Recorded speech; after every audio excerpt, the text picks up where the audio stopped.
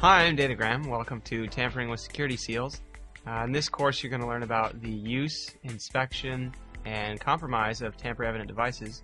They're used to uh, secure containers in everyday life, from uh, pill bottles to the transport of hazardous nuclear materials. And they're uh, easy to compromise once you learn how they work and the different methods of attacking them and you can compromise them both by beating problems with their design and problems with their installation or even their inspection. So it's not just a matter of uh, learning how they work, but you could also attack the human element of it as well.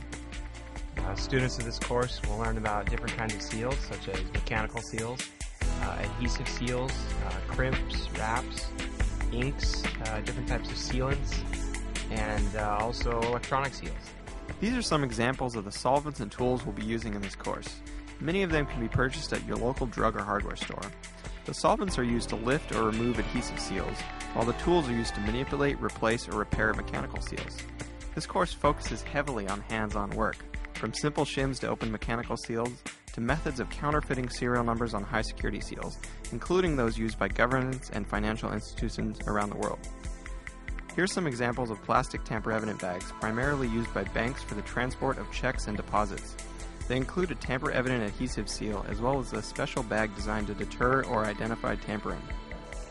You can see that the seal on this bag has been tampered with, as it clearly shows the stop marks on the adhesive lining of the bag. This is an example of what happens when we apply the wrong solvent to an adhesive seal.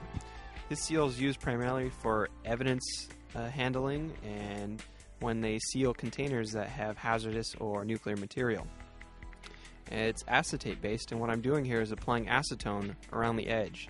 And this will soak through the cardboard and weaken the bond between the cardboard and the seal itself. And this is a pretty common technique to lift adhesive seals, but we're going to see in a minute that it doesn't work so well with this combination of seal and solvent. So everything looks great. We're picking up the seal. But now all of a sudden the acetate starts to rip and tear. And slowly this is going to spread to the rest of the seal. And the idea is that doing so leaves evidence that the seal was tampered with. So you see along the edges we have all these ripples and bubbles. And these are not things that we could easily get out without replacing the seal altogether. But if the seal has a serial number or some kind of unique identifier, that may be difficult. This is an example of a cable seal that's pretty popular for cargo transportation. And what it is is just this braided metal strap that fits through the body, and once you close it, you're not supposed to be able to open it. But if it's installed improperly, what we could do is push this shim through, and it'll separate what holds the, the cable in from the body and allow us to just pull it out. And once we're done, we can just remove the shim and put the lock back to normal. Uh, for more information, look at blackhat.com, and under training, you can find Tampering with Security Seals by Datagram.